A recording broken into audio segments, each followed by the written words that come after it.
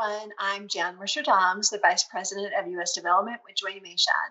We are an ecosystem of brands for women, by women, and connecting women to each other and to the companies, causes, and organizations that champion equity for women professionally and personally. You're here with us today watching Speak Your Mind with Dr. Risa Ryger, brought to you each and every Monday. Please make sure to join our YouTube community at Join Mayshad to stay up to date with all of our content and programming. And check us out at our website, joinmayshad.com, where you too can learn more about how to become a member of our sisterhood, of how we engage, connect, and do business together, bringing so many unique opportunities to you each and every week. Dr. Risa Ryger, welcome. How are you this week?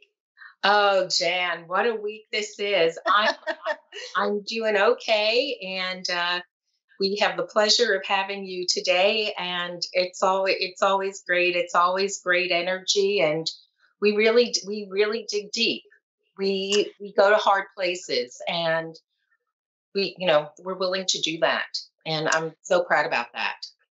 Well risa and this week is no exception to that because this week's theme is vote vote vote to vote like your life depends upon it and so here we are, a short few weeks away from our national election.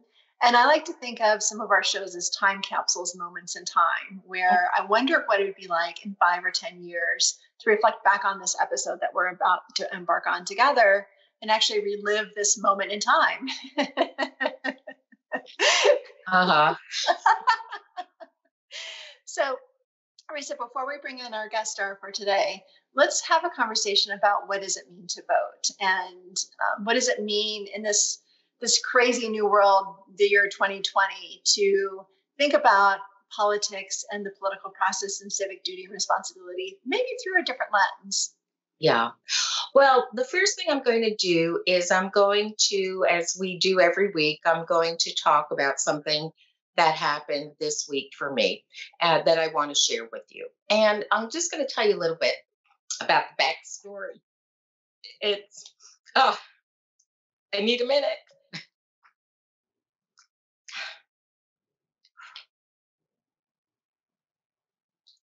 It's a hard one. Oh, Risa. But it's it's important. It's important. So I decided to go with courage. And my my mascara is gonna run. Okay. All right. And then you'll know why. Okay. Okay. So today, as I was thinking about what I was going to talk about, I decided that I had several choices to make. I had choices of some things that were easier and that would be helpful and it would be useful. But I decided to take really the harder route and talk about something that is hard to talk about. And so if I'm going to try to keep it together, but if I don't, I don't. So I'm going to have mascara coming down, and we're in the sisterhood. And in the sisterhood, if you can't be real, if you can't be true, and if you can't be honest and be courageous, and if being courageous means that there's a couple of tears running down your face, so be it. But if we can't do it here, then we have to rethink that. So let me lead the way. So during um, during my beginnings of my meditation over the weekend, I thought about a woman that I had met and had the honor of meeting. And one of the things that's been so important, as we've seen in politics and, and we've seen, is the importance of saying someone's name and the power of saying someone's name. And the name of the person that I want to say is Madame Jeanette Sosnowski. And Jeanette's a woman who I met in Paris. She was elderly at the time that I met her.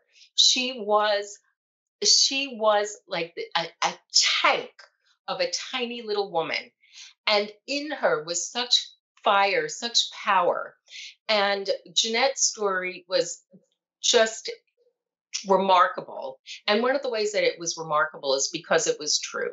And this is a woman who went on to live a very ordinary life with an extraordinary story and extraordinary heart. So, uh, Jeanette was in Paris, um, you know, at the outbreak of World War II. She was married, she had two sons. And as things went down the tubes in, in France and in Paris, um, she and her family decided that they needed to take action. Her youngest son, uh, Zizi Isidore, uh, they put in a convent more towards the south of France. Uh, Jeanette and her husband, um, they decided that they were going to contribute to the French underground. And their older son, Cadiz, also um, were involved in the French underground. So, and this was a Jewish family. So Jeanette was so committed and so sure of what she needed to do. She was so committed about how she was going to help and be most effective to help bringing democracy back to her country. And so she worked, and there was not an issue because of her confidence, her her integrity, her sureness of who she was at that time and who she has been. Uh, of course, she's no longer alive. That she worked as a prostitute for the French underground. And in that capacity, she was able to pull out vital information that helped that helped the French underground during this time of war. Uh, unfortunately, her husband was taken by the Nazis and he was murdered, and her older son, Cadiz, was also murdered. And she was able, after the war, to bring her younger son back and to move on with her life in ways that were just extraordinary. And so, what it, what is it that I want to say about this story? We could say, "Oh my gosh, what an amazing woman!" We could say a lot about it. Um, but what we can also say, and where our call to action is here, and what I want to pull out and share with you is that here's someone who acted, who knew that there was something that she needed to do, and found a way that she could she could work and be helpful, be useful, and and and she sacrificed.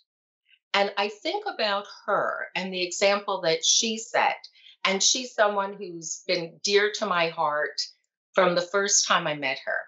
And I think, here we are now. And what is it that we need to do? What is what is our call to action? How can we help?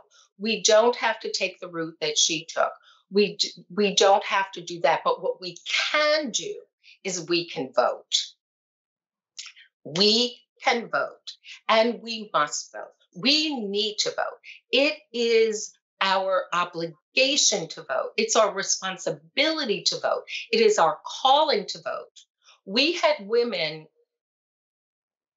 the suffragettes, fight hard and sacrifice in order for us to be able to vote.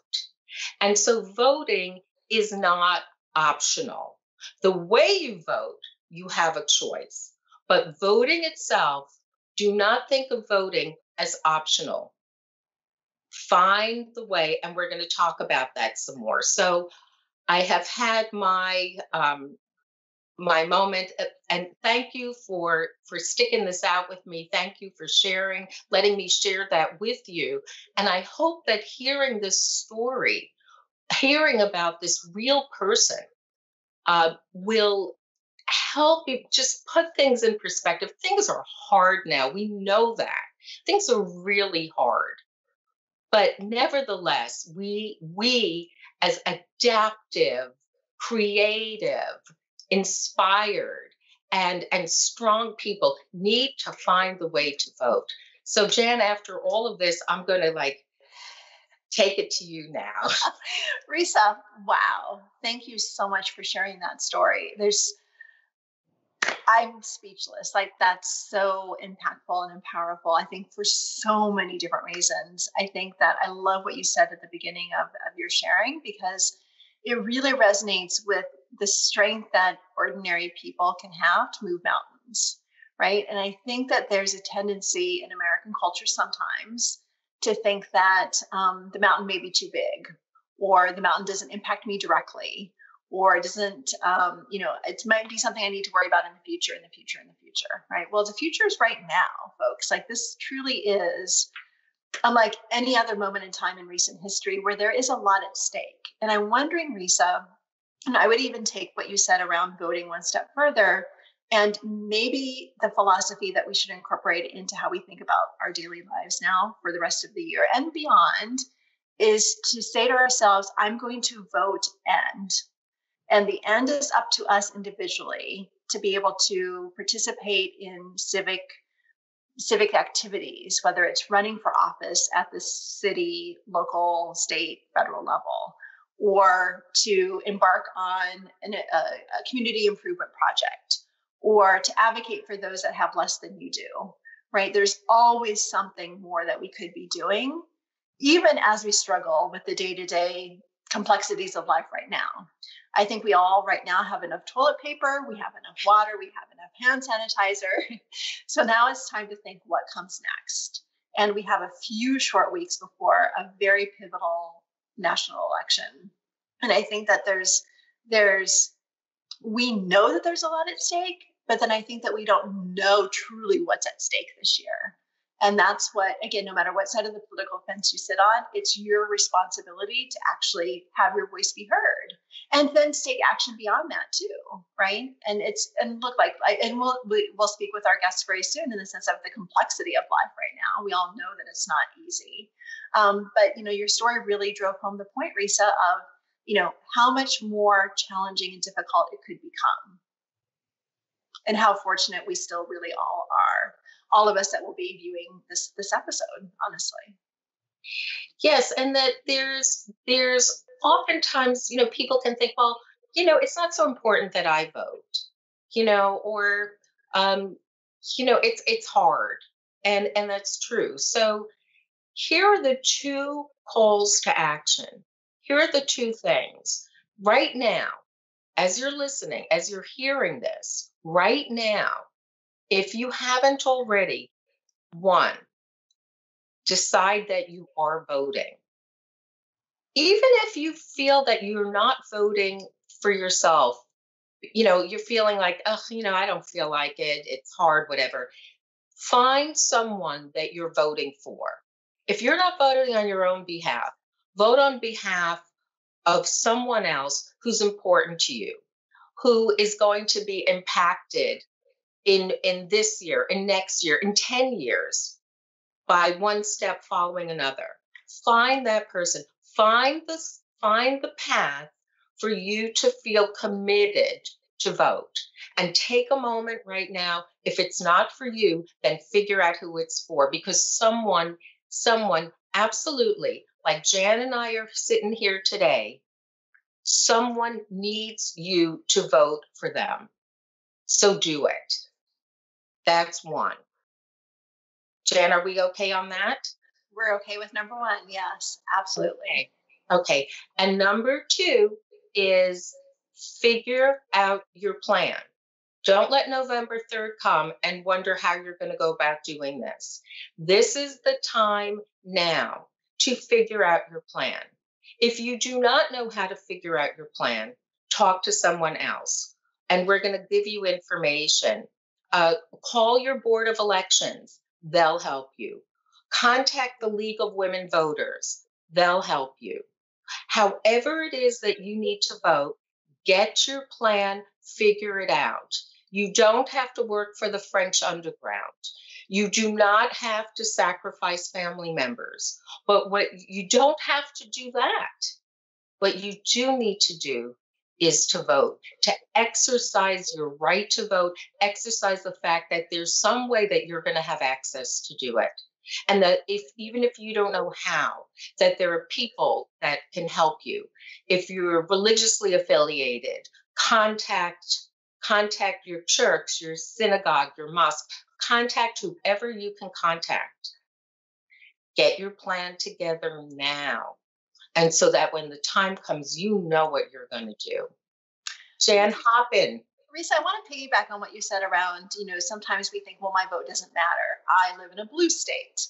So my vote doesn't really count because it's already going to go in one particular direction. And it has, you know, since the beginning of time. That could be true, but this year it's incredibly important to vote.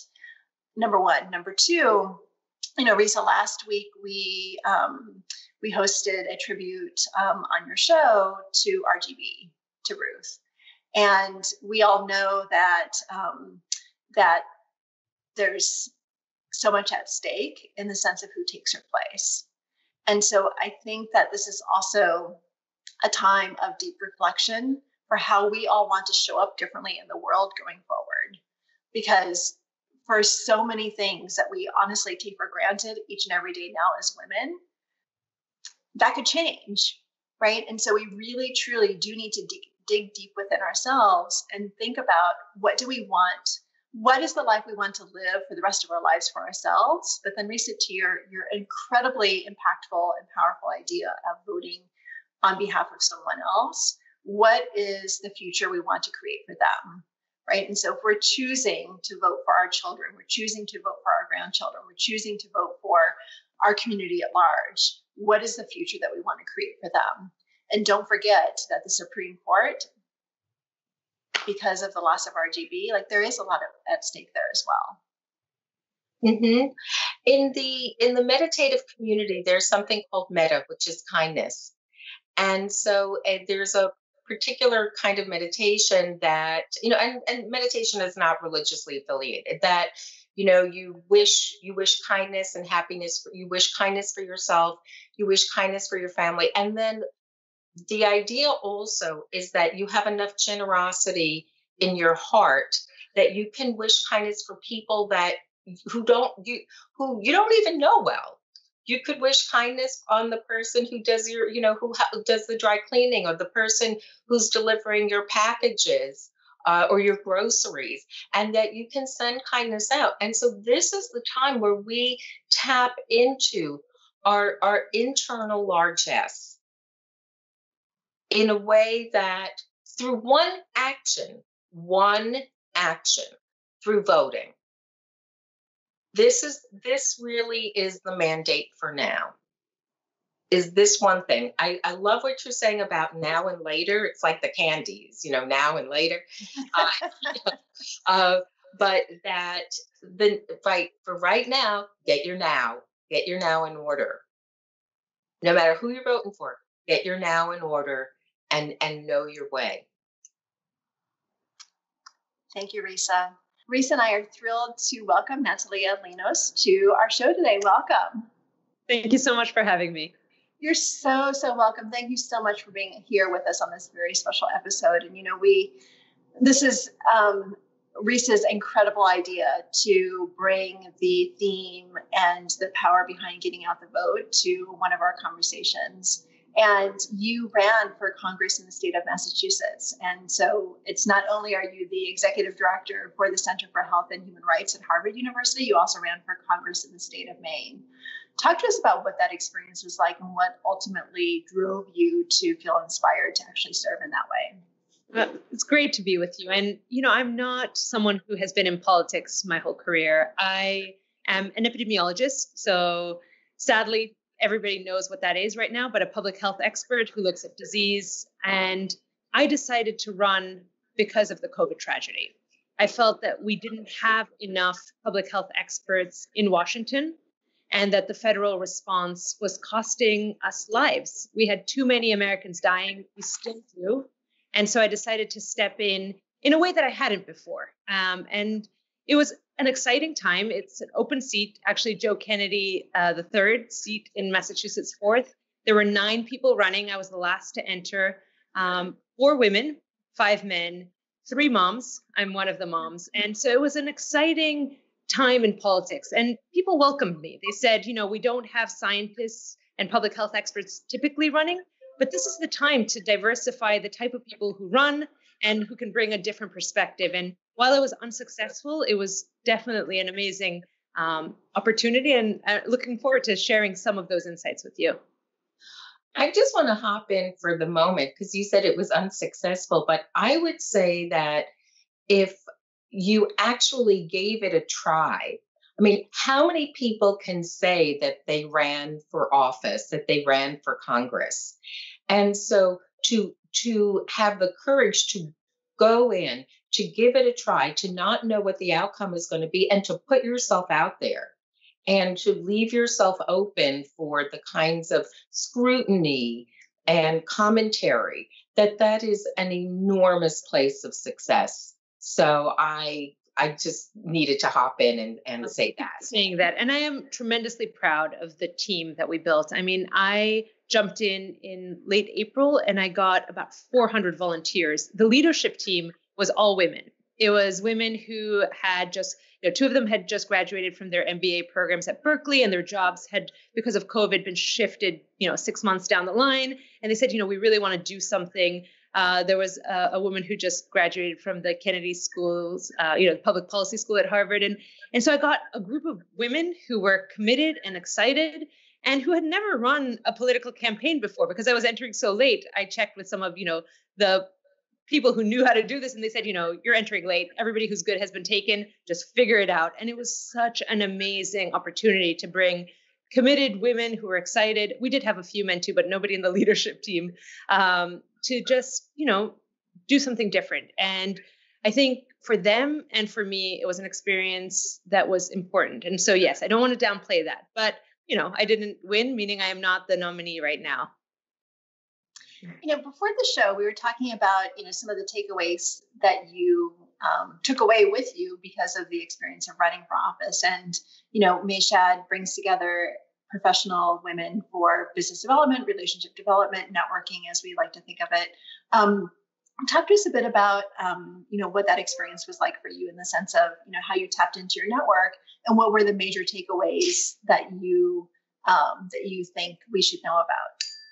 Yeah, I mean, the main thing is is that politics is about your network. Um, running a campaign is expensive, so the network matters both for fundraising, and we see that a lot of women are not in Congress. Our Congress has about you know 25% women. We have very few mothers of young children, and I think those two it says something about what you're able to do with your time, how you fundraise. You know, you're not part of an all boys club that can, you know, bankroll this campaign. You know, between us, some of the people who I was running against spent millions of dollars, two to three million dollars. I only spent 400,000. And actually, I think that the fact that I came in the top four, despite having spent a tenth of the money, um, says something. But it also says something that I had only been able to raise a tenth of the money. And networks matter in being able to raise money, to being able to have, um, you know, to to do what you need to do in a campaign. And that's important to raise right now because you know November 3rd is our election, and whoever you're voting for, you should vote. But another thing to do is think about candidates who are not able to raise as much money. That's uh, women, it's people of color. And if you have the means to donate, that is a tremendous way to support the political process. And you know, as a scientist, I it was very uncomfortable for me calling people and asking for donations. But I spoke, the more I spoke to people, they said, you know, that is how we participate in the political conversation. You know, I'm not running. I'm grateful that you're running, and therefore I want to give you money whether or not you win. It's not that I'm investing in you only if you win. I'm investing in a future that I believe in. So this is a call to people that there is a lot you can do as a voter, as a volunteer, and as a donor. And I encourage people who are listening to this to take that seriously and, and to try and engage in any of those three ways. What did you what did you learn? Because this is this is all new of voting during covid. Yeah.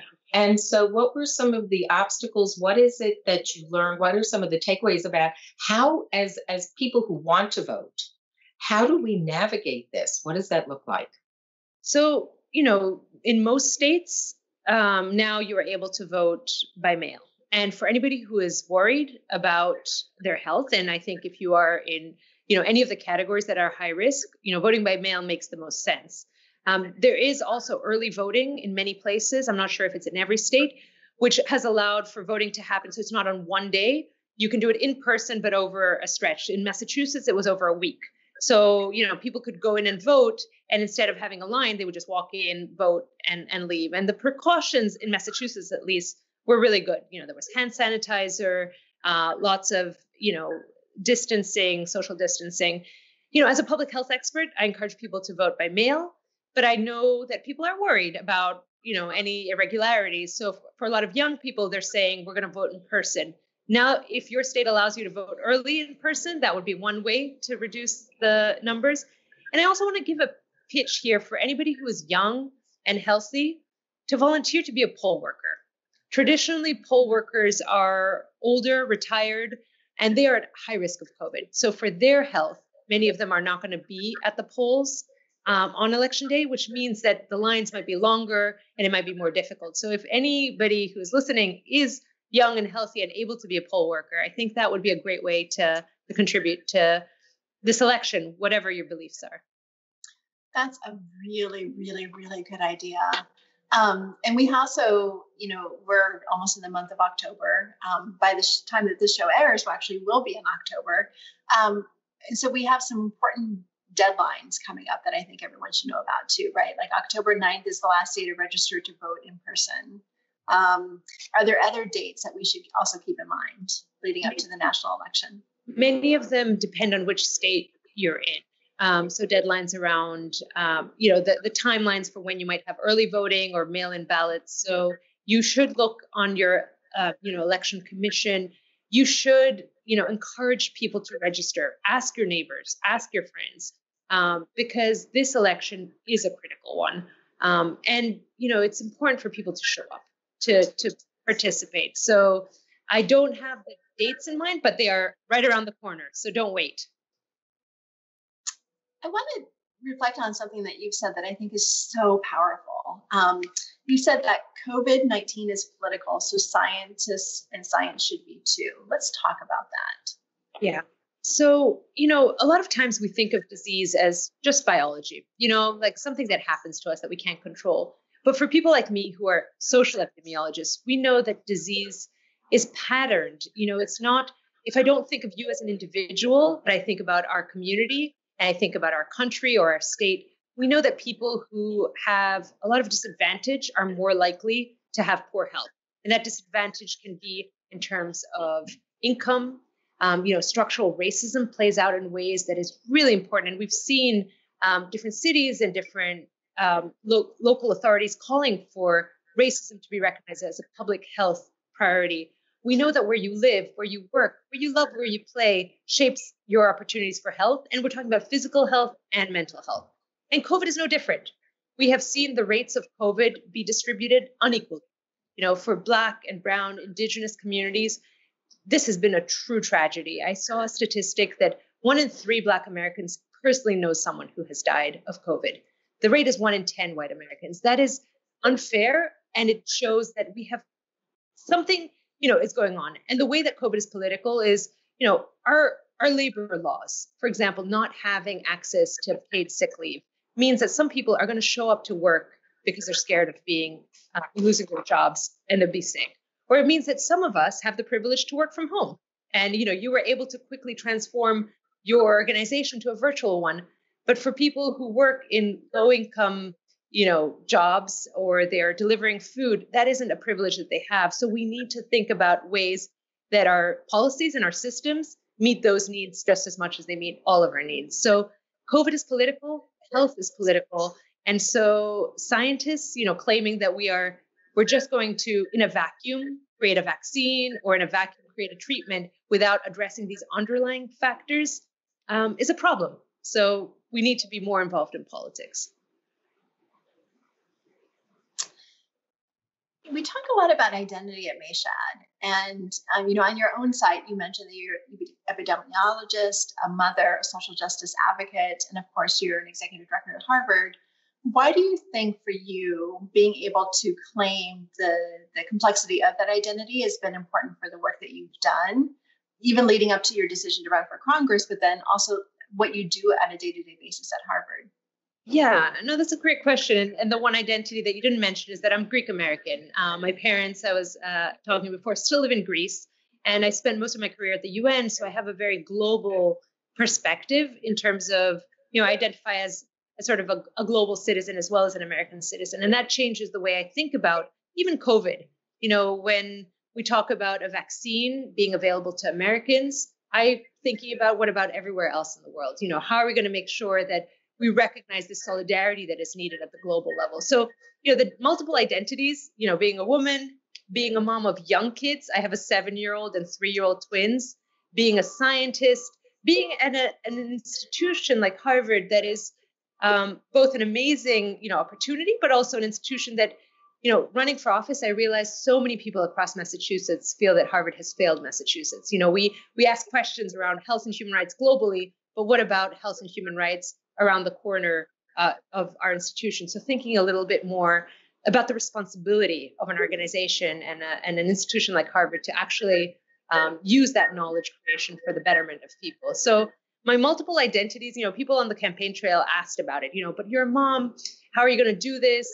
And I said, you know, the mom actually component is gives me a lot of insight. I'm an epidemiologist and a mom, so I'm concerned about school openings. Maybe Congress, if they had more epidemiologists and moms, they would be, you know, have figured this out earlier. Um, and all the parents across, you know, the country that I know of, that is top of mind. But yet, that wasn't top of mind in Congress. So our identities bring um, a perspective that is unique, and I think that diversity is truly valuable in politics, at Harvard, and of course in business.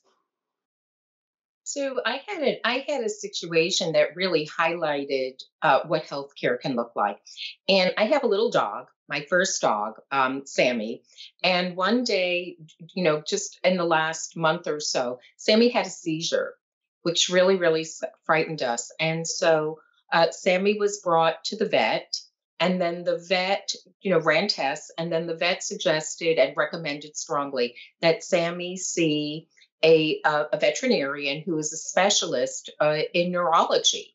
So Sammy, 12 pounds, 12 pounds of Sammy, got to see a, a neurologist and have a CT scan and had a full panel of blood work, was really worked up. It was decided that she, we really didn't need to have a spinal tap to do further testing on her, but it was something that was available.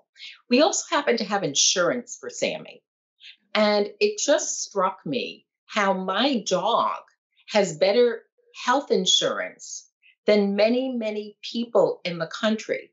And that for many people in the country, they don't have access to the kinds of services that were available to my dog.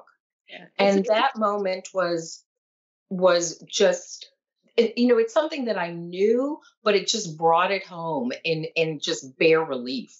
Yeah, it's it's truly a tragedy, and you know, we often talk about the millions of Americans who are uninsured, but if you include the underinsured, people who have mm-hmm. insurance but have to, you know, their copays are too high for them to actually ever use their insurance, we're talking about 50% of American adults. I mean, that is absolutely um, a tragedy. And we are one of the wealthiest countries in the world. We have some of the best doctors, some of the best nurses, some of the best hospitals, and yet half of our adult population basically does not have access to that. And so it should not be surprising to us that we are the country that has the most COVID deaths. Right now, we have crossed the 1 million mark globally. 200,000 of those deaths are Americans. That's number one in the world right now. That is a huge number. And health insurance and access to health insurance is a big part of that. And our inequalities across the board and our disinvestment in public health is another big part of it. But you're absolutely right that if this tragedy isn't a wake up call for us to have that difficult conversation around health insurance, then what is? So I do hope that the, you know, our our politicians, you know, I, I had hoped to be one of them, will be having these difficult conversations because the cost of inaction on our economy is higher than the cost of action. So let's talk about being like other countries where we have everybody have access to health insurance and, and health care. I want to talk a bit about also, and this is a really good segue into this, your the platform that you ran on and the plan that you've identified. Um, I found it to be incredibly brilliant, and I'm sure that that would be really very helpful for all of us to hear about. What had you envisioned in the sense of, you know, re- helping um, the United States of America rebound? Yeah.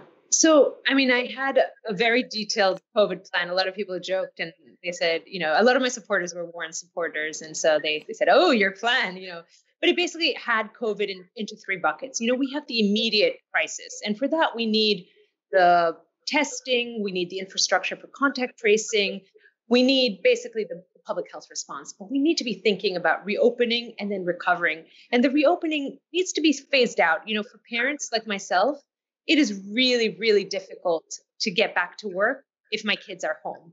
And I do worry about the gender inequities that will play out. I worry that more and more women will either go part time or pull out of the workforce in order to be able to, um, you know, accommodate their caregiving, whether it's education or caring for older parents, etc.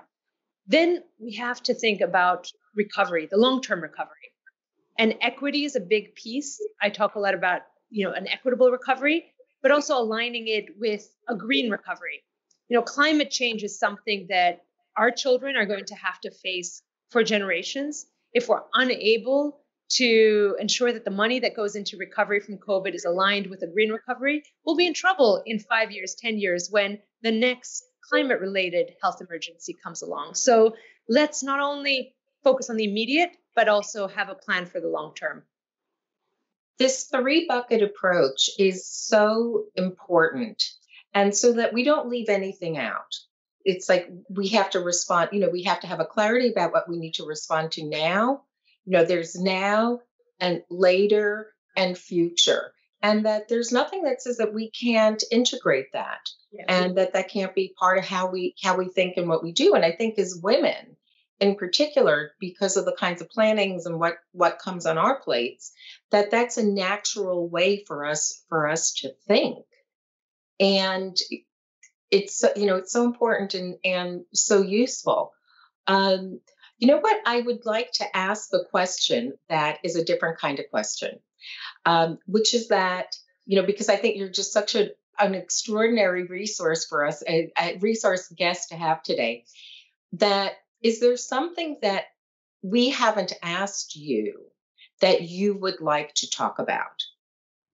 I mean, I think, you know, we have an opportunity between now and November to become political. I think a lot of people feel disillusioned by our political system, and especially people who are successful in business or successful in other parts of their lives. And and we've allowed ourselves to sort of separate ourselves. But what COVID has made clear is that we cannot. We cannot step aside and ignore people who are not as, you know, well off because the risk that, you know, we share risk. So schools are closing, our communities are shutting down unless we all step in. And so I'm hope that this conversation can lead some people to say, you know, I haven't voted in the last few years because you know it hasn't served me well but now i will step into vote or i haven't really thought about the ways that um, science and politics interact even though they're having these calls around you know listen to science listen to scientists what does that mean and what can i do? And and there is a lot that people can do. I think a challenge is that we become not only um, you know distance and pessimistic that we turn inwards. You know we shut down our doors we create pods for our kids to learn we you know stock up on food. But really we need to be looking outwards because this crisis is here to stay for at least you know 18 months maybe 2 years maybe 3 years. There is going to be a new normal and we need to not lose our humanity in this new normal. And part of it is you know civic engagement and political engagement and being there for our neighbors but also thinking the big picture. So i'm really excited to be part of this conversation because i want people who don't usually talk to people like me to, to listen you know from me. And and i hope to be part of future conversations. I do agree with you that women have a way of thinking you know big picture systems thinking. And we need to recognize that this is uh, really an important election. So let's not waste this next you know this opportunity to participate. Do you think that there's also such always an emphasis at the national level? And so you know the which leads to then the feeling of being disconnected in the sense of what happens up here versus you know the reality of how most of us live down here right? And you know as you've proven there's so much opportunity for women at the state level but even at the local level. I think that when you think about even school board participation because there are incredible decisions that we don't always think that happen at the school board level that actually happen at the school board level right? And other other ways to become more en- more engaged and involved from thinking about civic participation not just as civic participation but like your your your duty right? It's your duty as american citizens to become a part of the solution for what comes next. And look like we all got ourselves here right? Like whether or not we're impacted directly or indirectly by covid like in some ways i think that many of us thought that we were going back to normal by now. But let's face it normal wasn't really working for us even then right? When we think about the environment, we think about human rights, and we think about racial inequality in this country and access to healthcare and all of the, you know, the very insanely important topics that you mentioned in our conversation. Um, so it wasn't really working before, right? So we have a I honestly think that we have a responsibility to become more actively engaged at all different levels of government to really become a part of the solution and to really not just think, to your point, about politics as being something off here to the side, but really, you know, stepping into that voice in a different way to have it be infused in everything that we do. I fully agree with you. I fully agree with you that we can't go back to normal, that normal didn't work, and that we have a voice. Like, let's not think that we don't. And for those of you who don't want to get involved in politics, there's also different organizations in your neighborhoods. You know, you can do it through civil society or other, you know, groups. You don't even need to get political. But I do want to stress before we end that, you know, women need your help who are running for office, need your help. So if you can contribute either financially or getting the word out, that is going to get more women in office and we as a country can benefit from that so i would really at every level at the local level at the state level, at the you know at every level. So so do do try and support some women candidates um, if you can. And I love what you're saying, Natalia, that there's a way for everyone to get involved. There's some path for everyone to do something. That this isn't a time just to think, thinking's important. It's also a time to do. And so we have to take from thought and transition into action, even if action is helping a neighbor who needs food, whatever that is. There's something that you can do. There's something that you can offer, provide that you have value to, to contribute. Exactly. And that's not to underestimate that women right now are being pulled in all directions as caregivers of kids, as caregivers of elderly. So I'm not, you know, I know I'm asking you to do one more thing, but this thing doesn't need to be a huge time commitment. It could be to make a couple phone calls, show up to vote, and also your if you have kids or other people in your community, bring them along. You know, my kids, I had a seven-year-old and three-year-old twins who were out with me campaigning, on, you know, in parks and were supporting me around the site, and they have learned so much. So it is a lot to ask of people right now. People are exhausted. Um, I'm exhausted, but it's just a few months, and then more long-term, get involved in ways that make sense for you um, and that you can continue that commitment. This is such an inspiring conversation. So, takeaways, Risa, take us away. yes. Oh, my goodness. Uh, first of all, uh, speaking of civil service, that Natalia came to join us today is really exactly what we've been talking about taking taking your heart or taking your thoughts and putting it into action and so today we must learn from that and use her as a wonderful example uh, that she came today as a, as a as a public service and as a service to us. And so one is to find a space of action for yourself. Find something that you can do because there's something that you can do. And don't say if I can't do something big, then like what's the point? The point is that whatever it is that you do will have impact and it counts. The other is vote. Get it together. Figure it out. We're going to talk about this, you know, vote. You must vote. Get your plan together, make it happen. Even if you're not even if you feel your own vote isn't important, think about are you voting for your daughter? Are you voting for your parent? Are you voting for your aunt? Are you voting for somebody else on the other side of the country? You must vote. This is an integral freedom that we have. It's part of our responsibility of being united states citizens. We're thrilled that you joined us today. I hope that you come and meet us again next week. And remember as always we've saved a seat for you